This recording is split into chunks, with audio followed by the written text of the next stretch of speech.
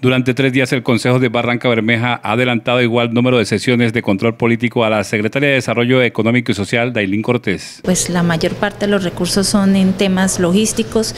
Pues quiero decirle a la comunidad eh, que el contrato es para poder hacer, mostrar nuestras muestras artísticas y culturales en nuestro municipio. Es un contrato que le apunta a todos los sectores, al sector de danzas, teatros, artesanías, audiovisuales, entonces, eh, ¿qué puedo decir? Se dio un balance en cuanto a cómo se viene realizando el contrato. Es un contrato que a la fecha hemos realizado 11 eventos itinerantes, o sea, son eventos no institucionales que le aportan a nuestro municipio. El debate se centra en el gasto de los recursos de estampilla Procultura. Estamos definiendo, pues cumpliendo las metas del plan de desarrollo, en las cuales dice que debemos de apoyar los eventos institucionalizados y los eventos itinerantes, aquellos que no tienen un reconocimiento por un acuerdo, pero de igual manera los seguimos apoyando, de igual manera estamos trabajando de la mano de los sectores como artesanías, como audiovisuales, artes plásticas, eh, literatura. Con ellos hemos organizado mesas de trabajos en los cuales queremos esto,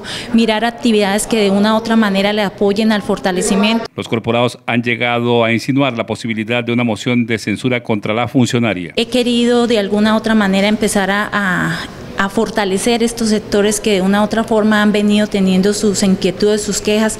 Estoy trabajando la mano de ellos, siempre he dicho que mi oficina es de puertas abiertas, estoy escuchándolos y aprendiendo de ellos de este sector.